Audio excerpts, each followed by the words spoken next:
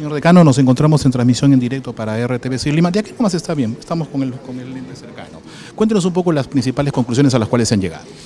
Mira, creo que es una importante reunión porque dos colegios profesionales de Lima, tanto el Colegio de Arquitectos como el de Ingenieros, unimos esfuerzos para aportar con lo más importante que tenemos que con nuestros técnicos, para hacer una evaluación y un diagnóstico de las quebradas que están en estado vulnerable y proponer alternativas técnicas cuantificadas a efectos de poder desarrollarse a partir de ello las acciones pertinentes para poder mitigar los efectos de futuros desastres que pudieran producirse.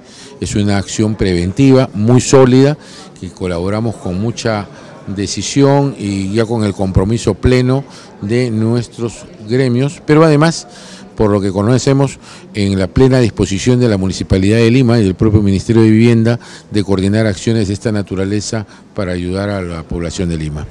Algo muy importante lo que resaltaba el alcalde de Chosica, la rapidez en los reflejos de ambas instituciones para poder de una u otra manera fusionar fuerzas para poder mitigar eh, todo el dolor que ha vivido la ciudadanía de Chosica. Sí, yo creo que eh, quizás más allá de nuestras similitudes en nuestras profesiones tenemos similitudes en atender los problemas sociales en el momento oportuno.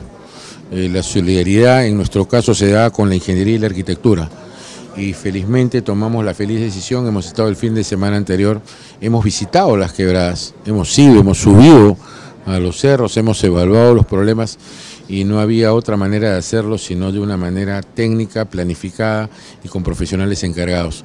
Creo que hemos asumido nuestro rol, nos satisface mucho porque finalmente estamos asumiendo la responsabilidad que nos han dado nuestros respectivos colegiados. Muchísimas gracias, señor decano.